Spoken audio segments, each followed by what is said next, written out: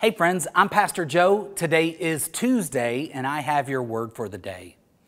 Have you ever given so much that it hurts? Have you ever sacrificed so much of yourself, maybe for your children, maybe for a spouse, maybe for a coworker, that it actually actually hurts your heart?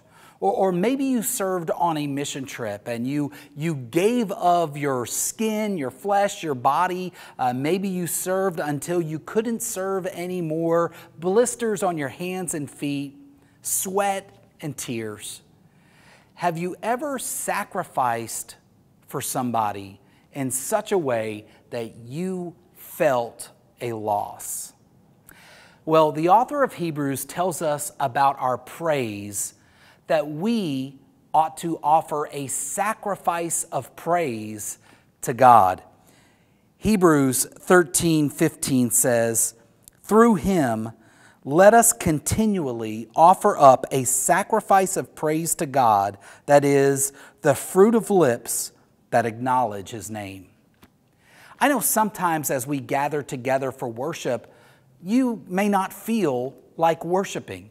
Sometimes, as you're out in public and you may have an opportunity to lift up the name of Jesus in praise, you may not feel like it.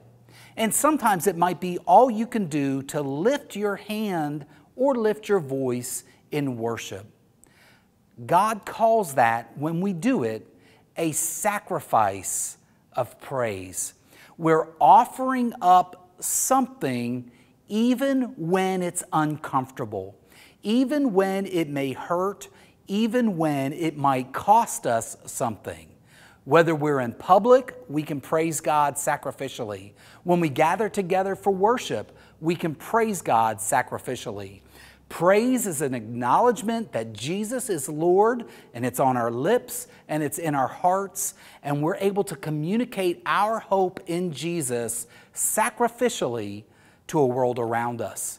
We can communicate sacrificially in worship, and we can communicate praise in public as we live and work and talk among the people that God has created. His desire is that the name of Jesus be lifted up, that the name of Jesus be mentioned, because it's, it is the name of Jesus that can draw all people to God. So as you live your life today, let me encourage you sacrifice your worship, be sacrificial in worship, even if it costs you something. God will be glorified, you will be encouraged, and you will be a light to those around you. If today's word for the day has blessed you, like it, share it, or leave a comment. God bless.